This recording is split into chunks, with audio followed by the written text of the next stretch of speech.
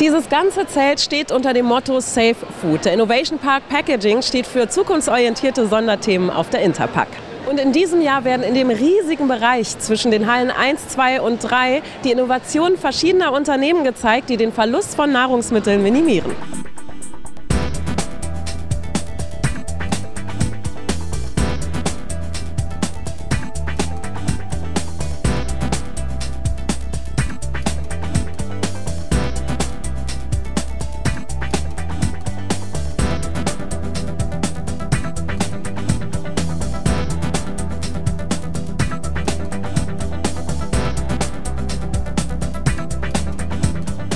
Herr Schabert, Sie präsentieren hier das Unternehmen Brandpack im Innovation Park. Wie präsentieren Sie sich denn hier auf der Messe? Ja, also was wir hier zeigen wollen, ist äh, die gesamte Wertschöpfungskette. Das heißt nicht nur ein Teil der Verpackungsgestaltung, sondern auch die gesamte Wertschöpfungskette. Das heißt von der Gestaltung über Produktion, über das ganze Supply Chain-Thema, was ja immer wichtiger wird.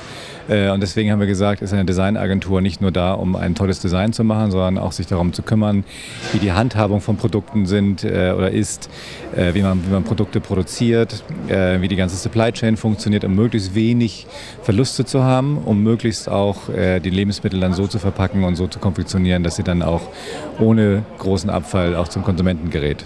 Sie haben ja äh, ganz spezielle Arten äh, von Verpackungen. Was sind dann so Ihre Verpackungshighlights? Was sind das äh, für Verpackungen?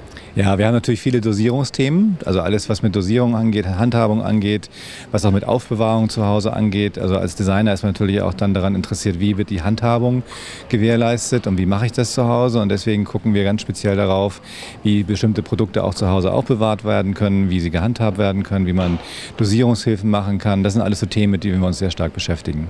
Warum äh, sind Sie denn hier auf der Messe vertreten? Warum ist es wichtig für Sie, äh, hier zu sein? Ja, weil wir halt die Industrie noch zusammenbringen wollen. Also wir wollen schon sehen, dass wir sagen, vom Produzenten, der auch das Produkt herstellt, über die gesamte Kette, wollen wir eigentlich Mittler sein und sagen, wenn wir Veränderungen machen wollen, dann müssen auch alle daran teilnehmen. Es hat keinen Sinn, nur auf ein Segment hineinzuschauen, sondern auf alle Segmente.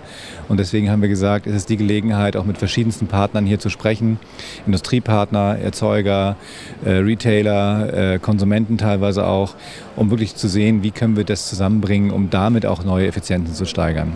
Wir hatten jetzt auch hier schon erste äh, Besucher am Stand. Man hat ja auch schon ein paar Verpackungen von Ihnen gesehen. Gibt es so ein Highlight, eine Verpackung, die besonders gut äh, angekommen ist vom Design her? Ja, also nicht vom Design, sondern von der Handhabung her wiederum, was natürlich viel mit Design zu tun hat. Äh, das ist das Thema zum Beispiel Reis. Jeder hat zu Hause Reisbeutel, man reißt sie auf, die gehen irgendwie dann doch kaputt, die kippen aus und äh, man weiß nicht so richtig, wie man abfüllen muss von dem Reis, wie viele Portionen man benötigt. Und wir haben eine relativ einfache Fallschachtel mit einer Dosierhilfe drin, wo ich im Prinzip schütten kann, äh, den Reis entnehmen kann, genau in der Menge, die ich benötige.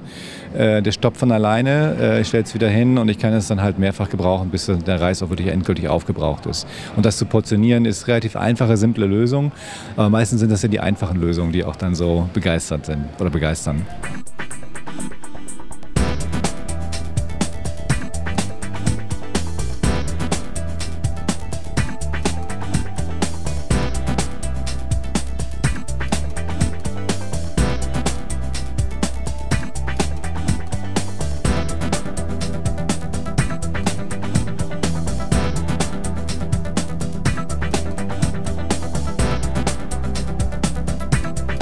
Richard Clemens, der Geschäftsführer der VDMA, ist hier an meiner Seite. Wie präsentiert sich denn die VDMA hier auf der Messe, Herr Clemens?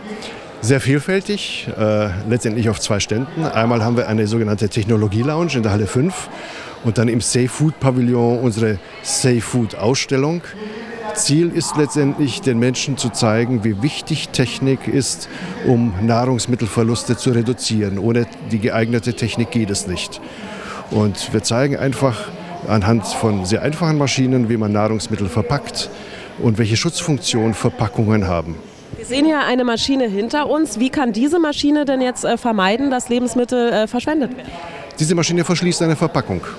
Sie versiegelt eine Kunststoffverpackung und damit ist es nicht mehr möglich, dass Wasser oder Schmutz oder möglicherweise auch Ungeziefer in die Verpackung eindringen. Also sie schützt auf sehr einfache Art und Weise Nahrungsmittel. Warum ist es dann wichtig für die VDMA hier auf der Messe zu sein?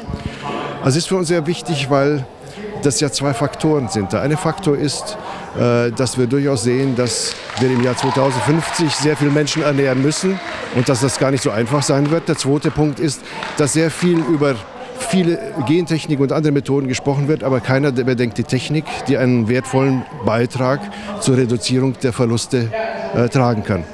Vielen Dank, Herr Clemens.